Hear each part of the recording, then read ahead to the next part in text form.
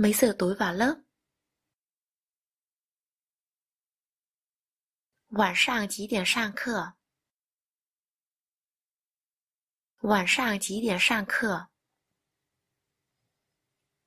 Bây giờ là cách nói, tan học. Xà kè. Xà kè. Xà. Xà.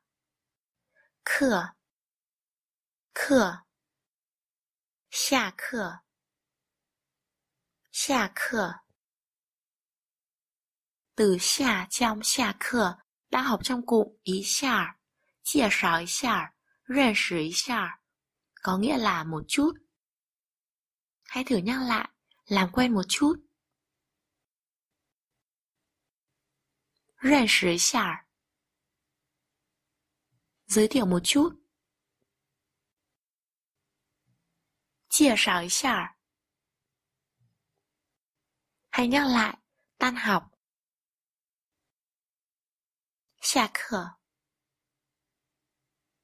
tan học thôi.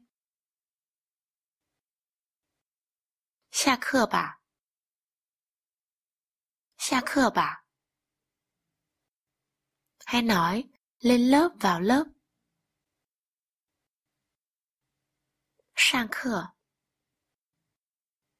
Tan học.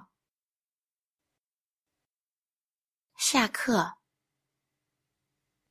Bây giờ hãy thử ghép từ xả với lái và truy để nói xuống đây và xuống đi. Hãy thử nói xuống đây, trường hợp này người nói đang ở dưới. Xả lái Xả lái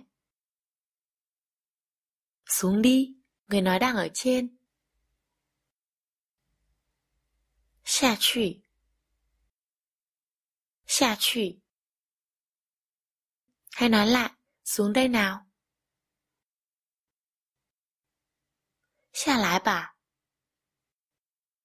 Xa lái bà. Cậu xuống đi. Người nói đang ở trên. 你下去吧，你下去吧。xa truy bà. Xa truy bà. Bây giờ hãy nói Đại học ở Nhật Bản 日本的大学 Đại học ở Nhật Bản buổi sáng mấy giờ vào học?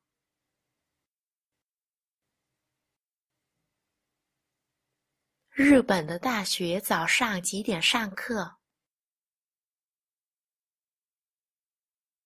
日本的大学早上几点上课 ？Bây giờ hãy nghe từ đại bộ phận, phần lớn. Ta bù phân ta bù phân ta ta bù bù phân phân ta bù phân ta bù phân phần lớn mọi người, nguyên văn là phần lớn người. 大部分人，大部分人，phần lớn mọi người đều rất bận. 大部分人都很忙。大部分人都很忙。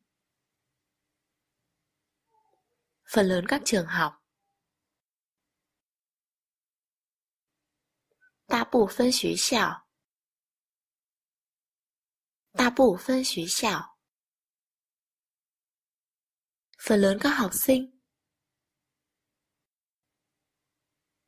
大部分学生大部分学生 phần lớn các sách 大部分书大部分书 Phần lớn các từ điển. Ta bù phân xứ điển Ta bù phân xứ điển Phần lớn các ký túc xá. Ta bù phân sủ sửa. Ta bù phân sủ sửa. Phần lớn các tòa nhà giảng dạy. 大部分教学楼。大部分教学楼。